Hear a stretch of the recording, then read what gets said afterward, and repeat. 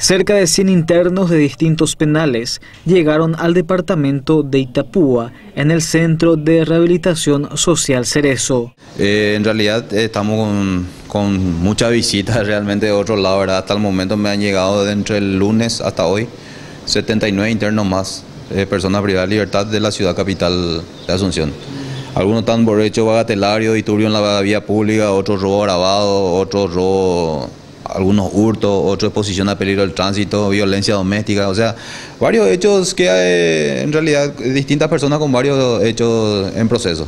Sobrepoblación total en este caso habrá el cerezo, director. Y en este momento estamos teniendo una sobrepoblación ya tremenda, ¿verdad? Pero tengo entendido que van a seguir llegando más internos porque, como sabrás, las otras penitenciarías están cerradas temporalmente, ¿verdad?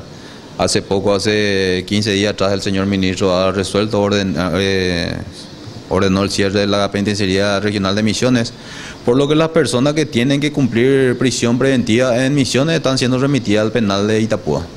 ¿Cuántos serían los, penales implicados, por decir así? Está la penitenciaría regional de Misiones, Ciudad del Este, Coronel Oviedo, Villarrica y Tacumbú. O sea, prácticamente la, mayoría. La gran mayoría está siendo cerrada, está, sigue encerrada, ¿verdad?